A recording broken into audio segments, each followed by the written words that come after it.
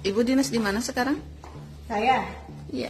saya ini Komisi Pemberantasan Korupsi tengah mempelajari harta kekayaan Kepala Dinas Kesehatan Provinsi Lampung Rayana. Hal itu juga disampaikan Deputi Pencegahan dan Monitoring KPK Pahala Nainonggolan menanggapi gaya hidup mewah Rayana yang tengah menjadi sorotan publik.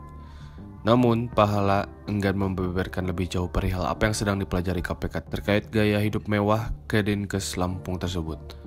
Ia juga belum dapat memastikan apakah Rayana bakal diperiksa terkait gaya hidup mewah yang tengah disorot tersebut. Dikutip dari Tribun News, gaya hidup Rayana menjadi perbincangan setelah adanya cuitan dari akun Twitter @partai_sosmed pada Minggu 16 April 2023. Dalam cuitan itu disebutkan, Rayana menjadi kepala dinas kesehatan yang sudah 14 tahun menjabat dan belum tergantikan. Selain itu, warganet juga menyoroti tas yang dipakai Rayana karena harganya mencapai kisaran harga 200 juta rupiah. Baju yang digunakan kepala dinas kesehatan ini turut jadi sorotan. Dalam cuitan lainnya, warganet menyoroti cincin yang dikenakan kepala dinkes itu yang diduga banderol harganya bersaing dengan milik Hotman Paris. Diketahui sebelumnya menjabat sebagai Kepala Dinas Kesehatan Provinsi Lampung, Rayana sempat menjabat Kepala Dinkes Bandar Lampung.